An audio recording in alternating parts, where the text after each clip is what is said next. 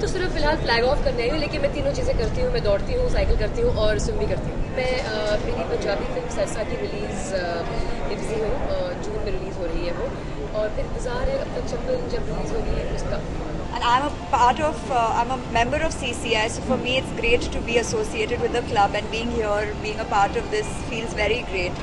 So I would just uh, uh, like to appreciate, I mean, I like, I would like uh, all the people who are, you know, participating in this event and, you know, who are making this event a huge success. So I think it's great. We should have these sort of events more often. Usually, personally, also, I uh, try to keep myself fit.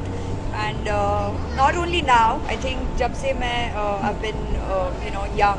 I've always been a part. I've always taken up a sport, always while in school. So yes, it's just a part of me. I think.